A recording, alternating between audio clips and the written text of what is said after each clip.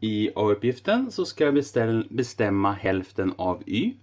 Om jag vet att y är detsamma som 2 upphöjt till 20. Så det jag gör det är att jag skriver upp 2 upphöjt till 20 dividerat med 2. För det är ju hälften.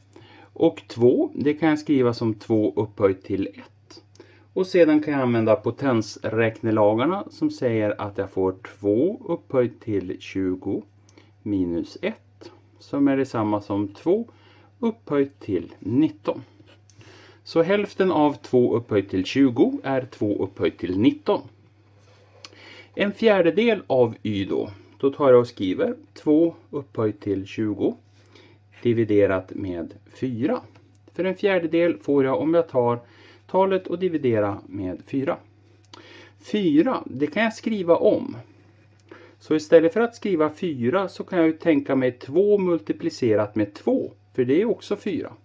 Och 2 multiplicerat med 2 kan jag skriva som 2 upphöjt till 2. Och här uppe har jag 2 upphöjt till 20.